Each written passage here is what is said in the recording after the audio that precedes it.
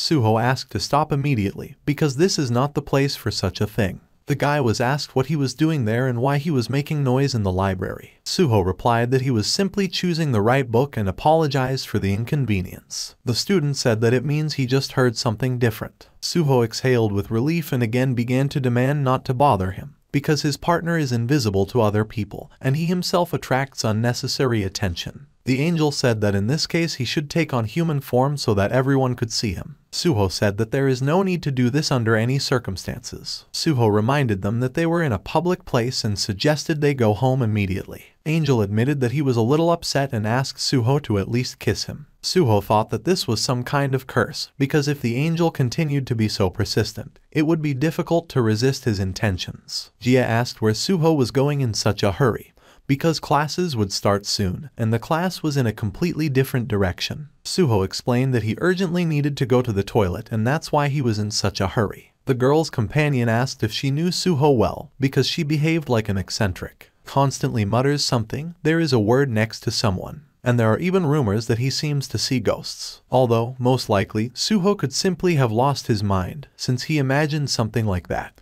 Jia asked not to say such things about Suho because she has known him since childhood. And if you get to know Suho better, it immediately becomes clear that he is a great guy. The interlocutor replied with disbelief that he was not sure of this, because Suho seemed not to be an ordinary person. Suho thought that it was all about ghosts, and even if he really wants to say how they can even exist, it's true. And he constantly sees ghosts and can also contact them. Sometimes you even have to talk to them and convince them of something. Ghosts have their own desires and some of them just want to play. Suho constantly tries not to show others that everything is fine with him. But, alas, it turns out badly and people notice his strange behavior. At such moments, Suho tries to calm down because he understands how wild he looks from the outside. And whenever possible, he avoids communicating with ghosts who distract in every possible way. Suho could not get used to constantly seeing these otherworldly creatures because it causes irritation and he wants to think about how to avoid this and concentrate on his studies. But that was until he met him, the one who made him reconsider his attitude towards his gift. And it evoked completely different feelings towards the otherworldly. Angels, unlike ghosts, are divine beings. And like reapers, they take the souls of dead people. Suho wondered what an angel could be doing at school, and whether someone had died nearby. Although the angel was looking into the classroom and carefully looking for something, Suho felt that this moment began to bother him greatly and could not forget it. Although soon the angel simply disappeared and perhaps all the fears were in vain. Suho decided that it was time to have a snack and suddenly felt that he was losing his balance. He shouted that he had asked many times not to do this because it was dangerous. And the young ghost from the first floor replied that he was sorry and forgot. Suho has long known an annoying guy who loves to appear right under his feet. Ghost asked why Suho was so serious even when he was all alone and explained that he just wanted to make fun. Suho reminded that such jokes can be dangerous and you can fall down the stairs and get injured. Suho realized that something was missing and demanded that the ghost return his wallet. The ghost replied that he was not involved in business and had not seen the wallet, and why did he need it? The ghost even offered to search him, but it's unlikely that Suho would be able to find anything. Suho realized that he had lost his wallet somewhere, but only where exactly it happened. Perhaps this happened in class, but there you will have to meet the annoying ghost girl again. Suho decided that he needed to sneak into the classroom unnoticed,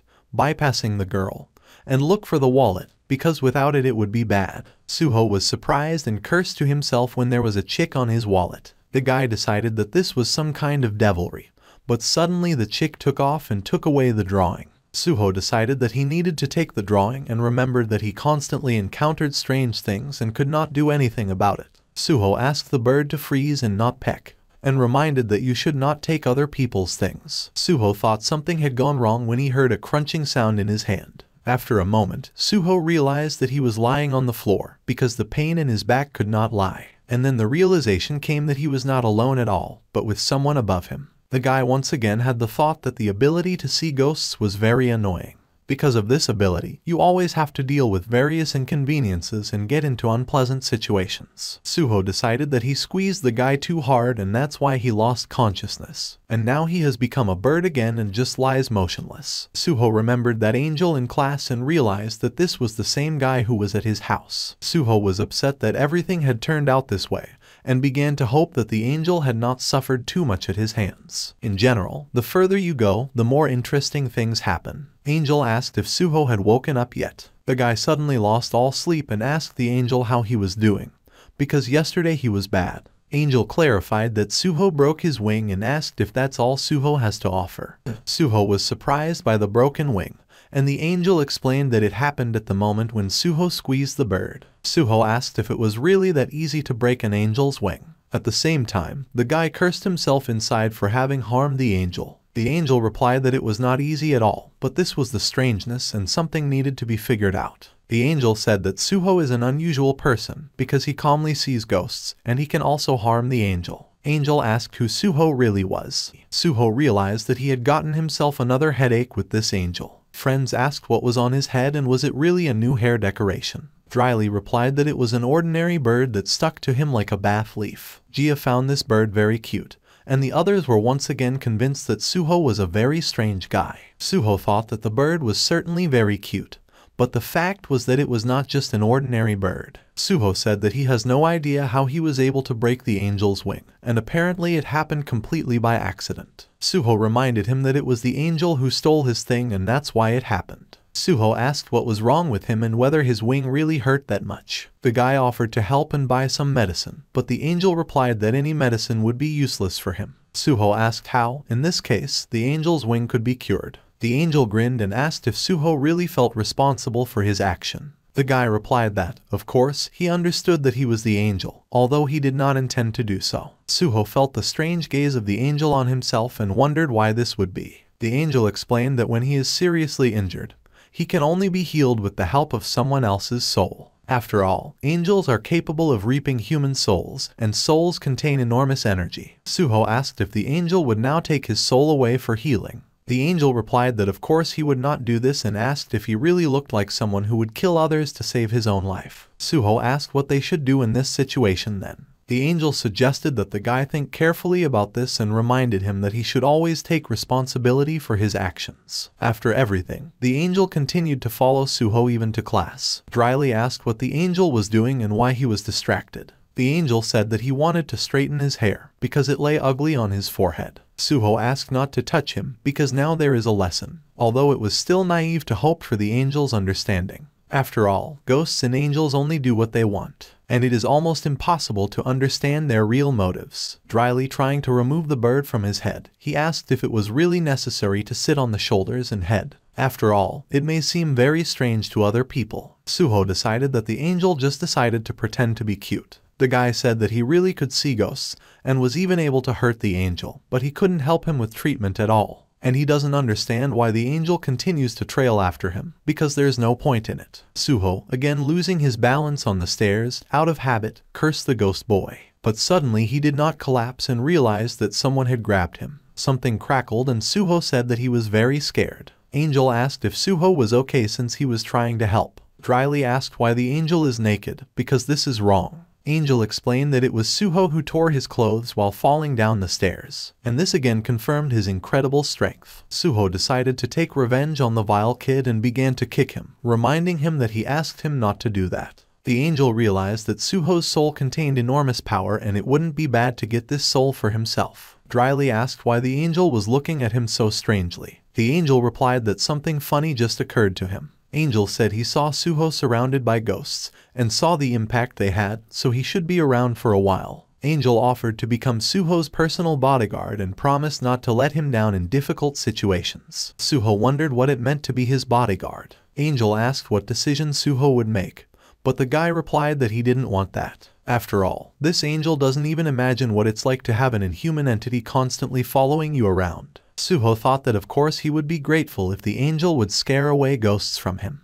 But if you think about it, this angel himself is no different from them. And what Suho hated most was getting involved with weirdos. Suho screamed in surprise and the shaggy creature shouted that he needed to look at his feet before walking. The angel noticed the abrasion on Suho's forehead and said that he should have taken it with him. And this could have been avoided, like last time. Suho replied that he was fine, the guy explained that he asked the angel not to constantly pursue him, because it made him feel uncomfortable. With, the ear exclaimed, what the hell is the angel doing? The angel replied that with his help the wound would heal much faster, because this is one of his abilities. Suho asked not to do this to him again, because it was very strange. The angel reminded that he only wanted to help and heal as quickly as possible. Suho thought that he hated all ghosts. After all, I had to suffer because of them since childhood. Suho asked if there was any difference between an angel and a ghost, and if so, what was it? The angel replied that all this is difficult to explain and finally told Teiko his name. After all, I forgot to name him all the time. Teiko stated that since they were going to live together from now on, he should still introduce himself properly. Dryly asked if Teiko really decided to live with him. Surely at this very moment a person is dying somewhere and shouldn't an angel go there to take his soul? Teiko said that he cannot move long distances due to a broken wing, and, moreover, he does not have the Book of Life and Death with him. Angels usually carry this book with them and it contains the names of people who are about to die. Suho asked where Teiko's book went. The angel said that his book was destroyed a long time ago and therefore he cannot use it. Suho asked, what then about the work of collecting human souls that Teiko should do? The angel replied that he was not working now and was idle, and therefore he doesn't worry about it at all, because this is not such a problem. Suho thought that this guy was quite carefree. Suho apologized and said that he was very sorry for the broken wing but unfortunately there is nothing he can do to help fix it. Suho said that if Teiko continued to follow him, it would be of no use, and perhaps it is worth turning to other people with such a proposal. Suho heard someone's voice calling Teiko and wondered who else could have been brought here. After all, isn't this angel in his apartment enough? Teiko was surprised at the guest and asked if she had really come to just see him. The angel girl replied that she really decided to see her boss. Teiko cried out in pain and stated that he had a serious injury. The girl asked if Teiko really couldn't fly, because she had heard rumors, but in reality it shouldn't be that bad. The girl said that Teiko doesn't look good and he doesn't understand what he's turned into. Teiko replied that she was too cruel. The girl said that at least she came with good news. She explained that since Teiko was now with Suho, it would be easy to take his soul and thus completely restore the wing. The angel girl said that Suho was going to die tonight. Teiko thought that today there is an opportunity to take the guy's soul, and that's good. But Suho is actually a good person. Suho felt someone's presence in the room and exclaimed who he was and what was happening. Angel was surprised at how Suho was able to hit him. After all, even if Suho is an unusual person, this is still too much even for him. Suho again asked the stranger who he was and why he had come. The angel replied that Suho just had to behave quietly, because his hour of death had come. Teiko was surprised to see Suho running somewhere, and in this form. Teiko understood everything when he saw the angel who was chasing the guy. Suho was horrified, trying to figure out what the hell was going on and why all these angels were chasing him. Suho thought that the angel would easily catch up with him and there was no chance of escaping. The angel suggested that Suho cool down and asked if he really believed that the stick would help him fight off the angel. Suho answered that if the stick didn't help, then why did the angel freeze to the spot? The guy asked what he really was and why he was pursuing him. After all, angels should collect the souls of people who have already died, and not kill those who are still alive. The angel was surprised at the guy's knowledge and asked if it was Teiko who told him everything. Suho said, so that means they know Teiko. The angel replied that of course he was familiar, because Teiko was quite famous among them. And recently, Suho has become known as the owner of a powerful soul, which the lost son of heaven, Teiko, wants to get. Dryly thought how Teiko could want his soul, since he said that he was only around because of his broken wing. Suho said that the angel apparently misunderstood something about the whole situation. Teiko understood everything, how it happened, and most likely the appearance of Suho's name in the Book of Life and Death was the work of another angel, and he decided to take Suho's strong soul by force. But such an angel's intervention in human life is a violation of the rules, and this angel decided to take a desperate act because of quickly spreading rumors. Teiko was upset that Suho was targeted because of him. Suho decided that it was really the end for him,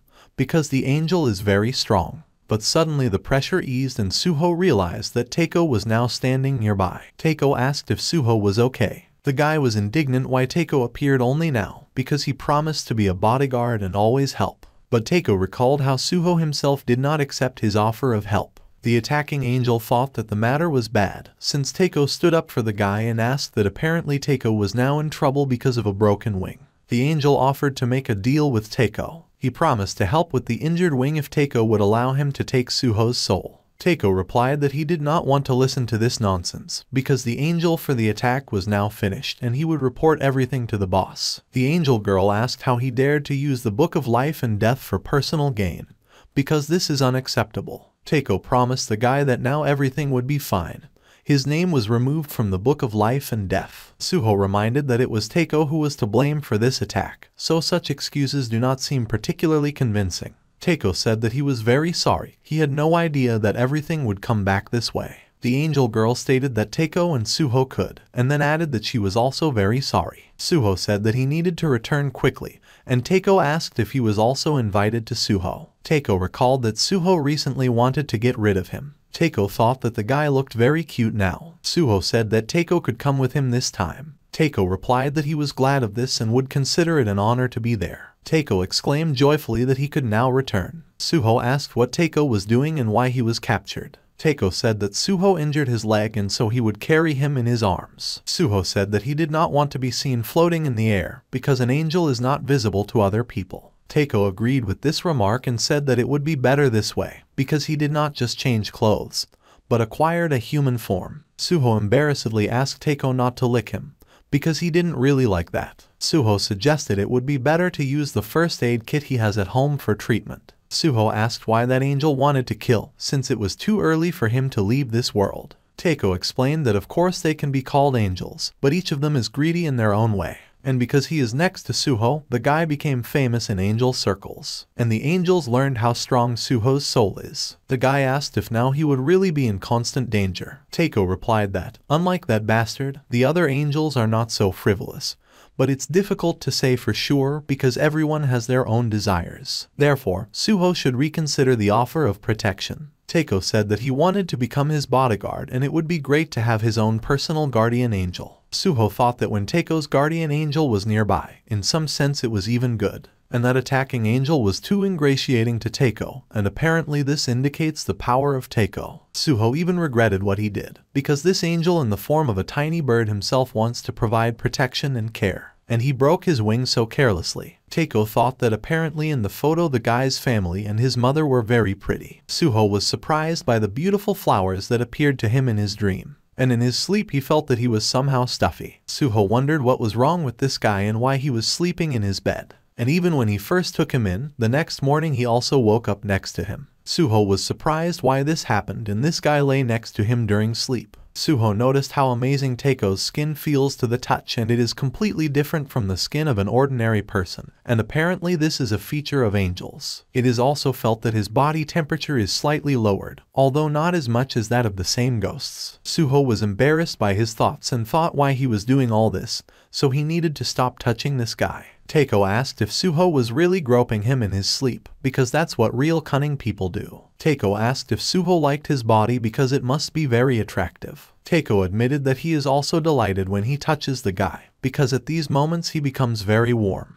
Takeo joked that Suho turned beet red and advised him not to be so shy. Suho said that Takeo misunderstood him and he didn't touch anyone at all. Takeo said that Suho is a very sensitive guy for reacting like that. Suho asked to leave him alone and stop talking nonsense. Suho shouted that he did not want such closeness, and Takeo noticed that he was treated too cruelly. Dryly muttered that he was just in shock and felt the attack more in his leg. Takeo asked if he was okay, and Suho replied that Takeo was very strange. Takeo asked what exactly Suho found so strange about him. The guy explained that Takeo was behaving very strangely because he was showing concern for the feet of the one who had just kicked him. Takeo explained that he was barely hurt by the blow and reminded him that he was currently living under Suho's care. The guy said that this does not mean that you need to behave like a servant. Suho explained that he meant all this help and even the way Takeo carried him home last night, halfway across the city. Takeo asked not to worry about it because it was just small trifles. Suho thought that maybe he was just fooling himself, and this guy was just good or was actually up to something, but it was still unclear what exactly. Takeo apologized for his behavior and explained that he just couldn't help it because Suho is very cute when he's nervous. Suho asked not to tease him or embarrass him like this anymore. Takeo said that he would go make breakfast and invited the guy to join him in the kitchen in a couple of minutes to eat. Suho wondered why the angel was behaving so carelessly or if this was quite normal for him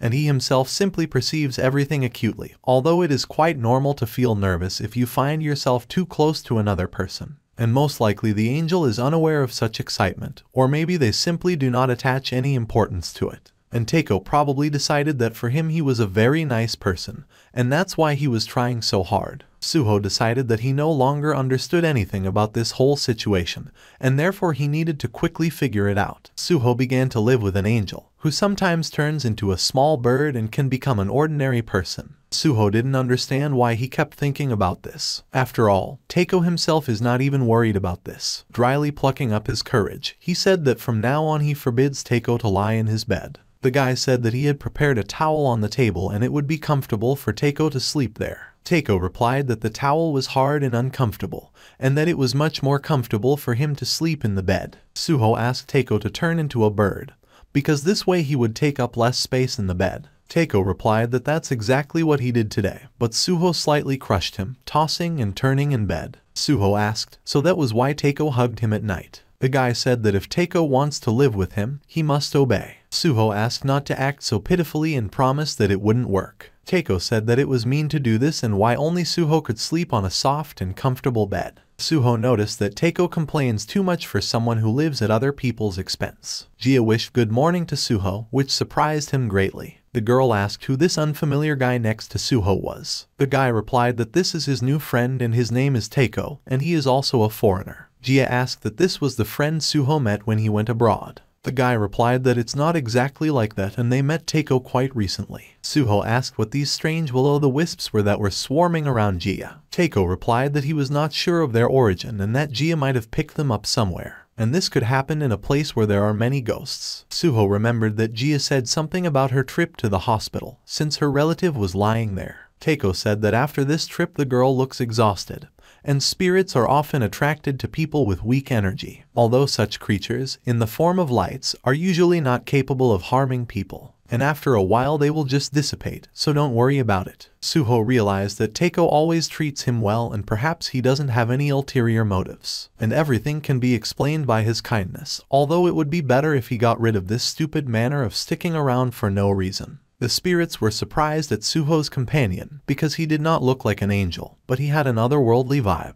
The ghost guy explained that he was really an angel and they had already been hanging out for several days in a row. The ghosts were saddened by this news because because of their guardian angel they would now not be able to be with Suho. The ghosts knew that it was better not to mess with angels, because if you anger them, they can easily get rid of simple spirits. The ghost girl noticed how many spirits were hovering around Suho's friend, Jia, and decided to find out why this was happening.